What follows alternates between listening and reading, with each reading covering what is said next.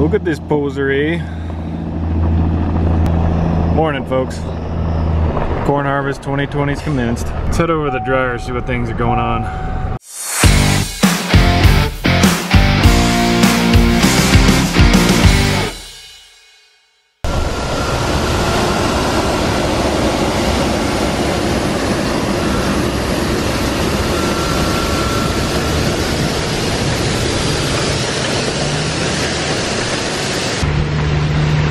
Harvest Sunrise, can't beat them. So hey guys, this is the first time on our farm we've ever used a dryer system. Something like this. This is what you call a dryer. Some of them look different. This one's called the mixed flow dryer. This is from NECO. Um, this one's rated at 1400 bushel an hour for like five points. So it's not overly huge, but we've never ever really dried on our farm. And the, the idea behind it for us is to maybe start on a few fields a little earlier than we possibly could before uh, and just have that option. Uh, typically we let it dry in the field most of the time down to at least 18 and then we'll stick it in the bin uh, and manage it that way with regular aeration fans. But now last week we started it up, uh, had a few issues just kind of figuring it out and but right now everything works pretty good on it. The only issue we have left is up at the top there's those white deals. They're called rotary sensors and every once in a great while, one of them doesn't read correctly and it won't fill the, the dryer back up. And so they're supposed to be sending us new ones to hopefully fix that issue, or it could be the cable. Uh, so hopefully we get that figured out. That's the only thing that will cause a hiccup every so often. So what this does here, this is the brains behind the whole operation and I'm still figuring out, so I'm not going to be an expert on it. But the gist is, the way it's set up is we have a wet leg and a dry leg.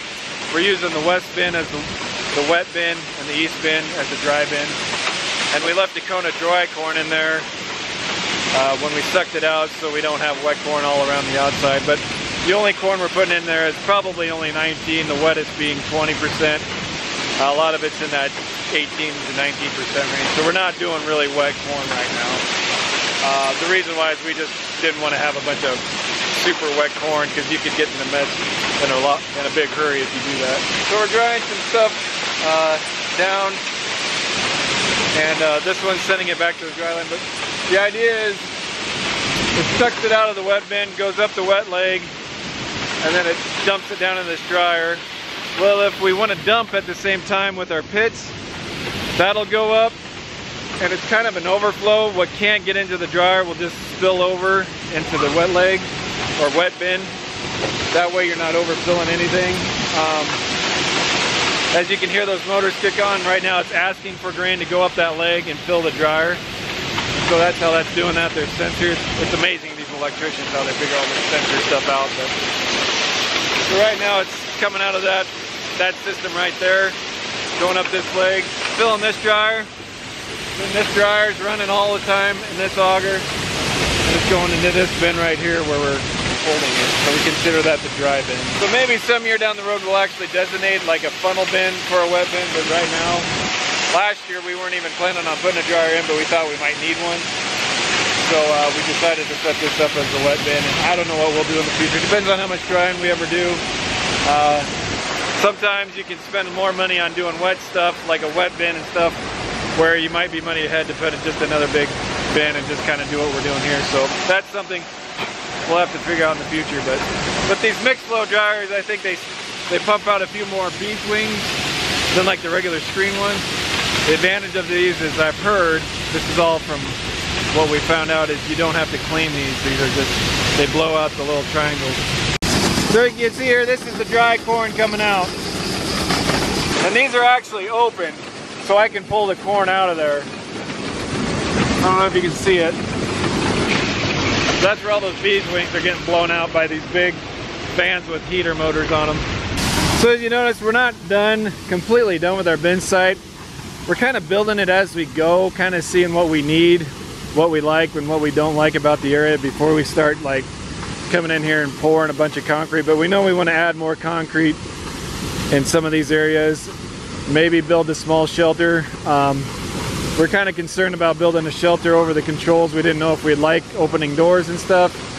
So this is all kind of a work in progress still. So if you see stuff, uh, so there's some things we like and some things we don't like, but we kind of wanted to do it as we go just to see what we would use. Wife's just going by, dropping off little man Garrett. So yeah guys, we're on baby watch. Anytime now we could have our little girl. So be praying. Hopefully everything goes okay. Man, dust gets in these things. So the problems I have with it shutting down, it, it What's nice is these things got quite a few sensors, but doesn't always mean it's great. I got cameras kind of set up so I can watch it from my phone. And I'm supposed to be able to monitor this uh, device, that screen over there, through my phone. It's just not completely set up yet, and so I'm waiting on NECO to get that done. So I should be able to see the drying process on that screen from my phone whenever I log in.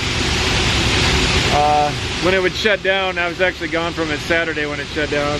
What it does is it just goes below that moisture sensor and it reads it's not showing any moisture so then it just kind of shuts the whole thing down so.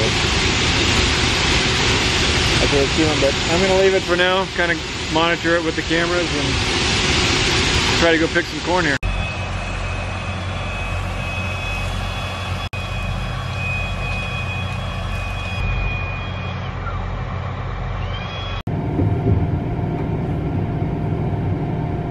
Morning folks, sorry I fell off the face of the earth yesterday after that whole dryer explanation, but nope, filling trucks.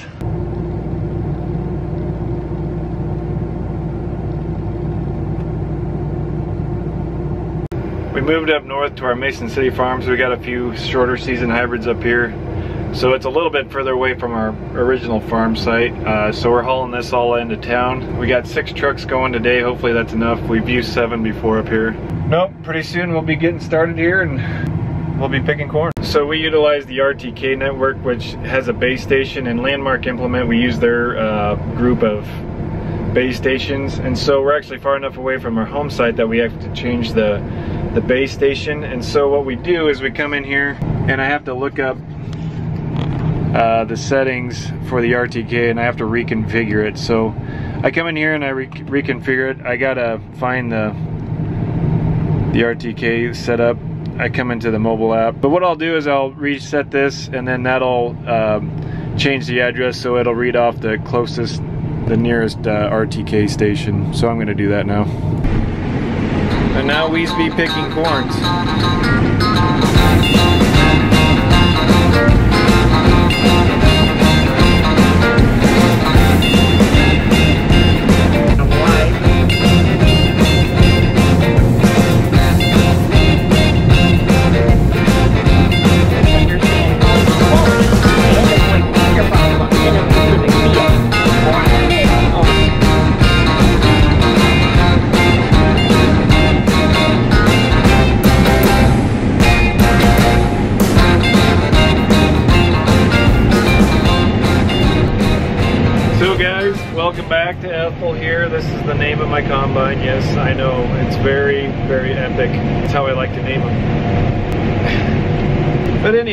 Now picking corn's a little bit different beast than uh, picking beans. You got a lot more volume of product that we got to get away.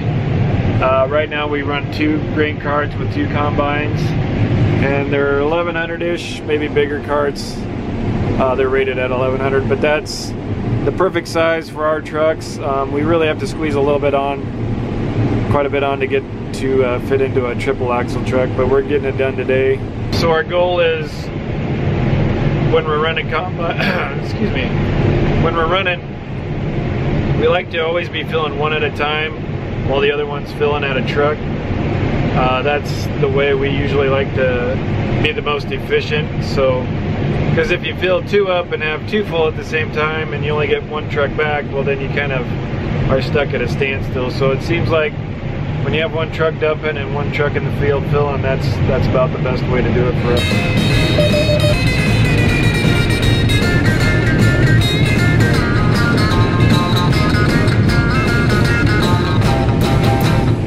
Do farm some pretty uneven terrain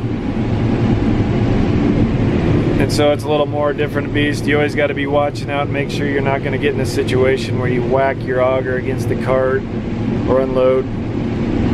And uh, you always want to be unloading at a cart somewhere, it seems like, especially in high yielding corn, uh, just to stay ahead of things. So once I'm done dumping on him, he's gonna flip a U-turn and start picking up the other combine. And then you just re repeat all day long, repeat and repeat. There we go, I'm empty. And if he's paying attention, he'll turn around. There he acknowledges.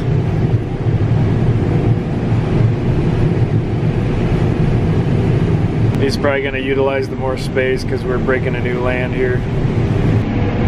During harvest, you'll hear us say land. Well, we always like to keep our augers open so we can be dumping either way instead of going back and forth.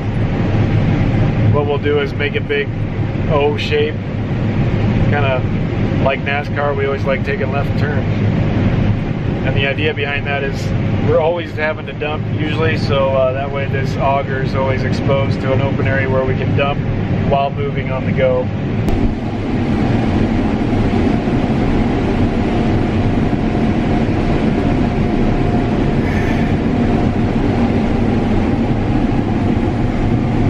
Kind of doing that whatever's dry thing, and so we act, that's why we moved up here. I probably mentioned that. We're just looking for dry enough corn and moisture, and what moisture content is in corn is how much it's holding inside that kernel. The ideal the, the moisture that we do not get docked at is 15 even. We typically will pick anywhere from, we pick, well right now it's it'll go below 15, but 15 to that 18% range is kind of typically what we harvest that. As you notice I talked about with the dryer, what that allows us to do is maybe to pick a little bit weather corn uh, without worrying about it spoiling in our bin. So that's kind of what we do in our area. I know a lot of areas like up north, they don't get that luxury of it drying down in the field and so that a lot more of them will have dryers up north with a lot bigger dryers. That's just because they have to dry every kernel that comes through the machine because they may only get down to 23 and something in a given year. I don't know, maybe even wetter. You have to ask them guys, what are you talking to me for? So brother Tom got empty. He's sending dad back my way. I probably might be able to top them off. It's nice as they have these mirrors that you can see and these bug eye mirrors that you can see your bin extension, see how full you're getting in that glass. Kind of on a side hill. Drier corn will flow a lot easier in the cart so you kind of got to make sure you don't get them too full because they'll spill it easy if it gets on too steep of side hill. Just things to look out for slow my combine down. He's running at a set speed. He kind of pulls alongside me, gets an average speed, and then I go back and forth since these carts are fairly long. We'll call that good. You're full. Then while he's leaving, hopefully someday another cart will show up. And then again, and then again, and then again. Pretty much all of October and some of November.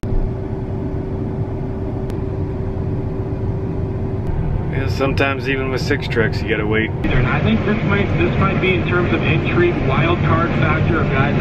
Kind of the big unknown here is Jordan Riley, and I'm getting the sense in his bat to come here. Yeah, he got mentioned by a, a, handful of guys in the last week or so as an impact player for this. It's to make it harder on quarterbacks to find passing lanes.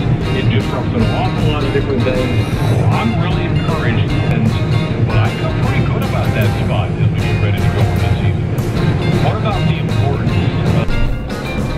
to the next field. If you're wondering, yes, the lights are bright on those tractors. They're brighter than the combines.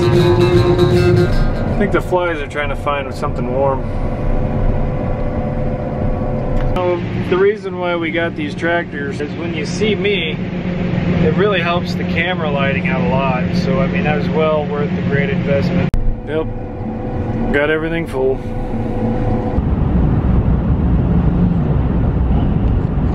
Hey guys, sometime uh, in the future I may try doing a live stream from the combine. I'm not sure how that'll work. It just depends on if I have cell service and the right setting, but uh, it's something I'd like to try to do sometime just to kind of maybe answer questions as I'm going through the field. We'll see how that goes. I'm not making any promises and plus it's baby watch. So hey, thanks for watching. I really appreciate it guys and we'll catch you on the next one. See ya.